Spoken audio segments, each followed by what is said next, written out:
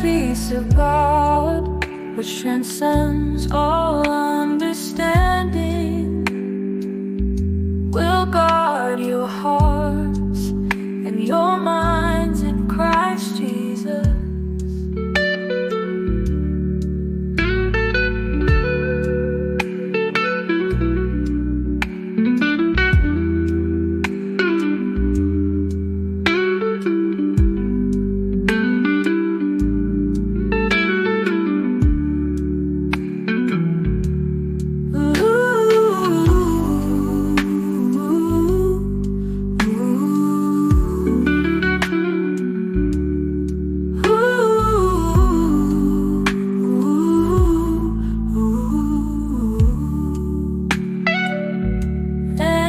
peace of God, which transcends all understanding, will guard your hearts and your minds in Christ.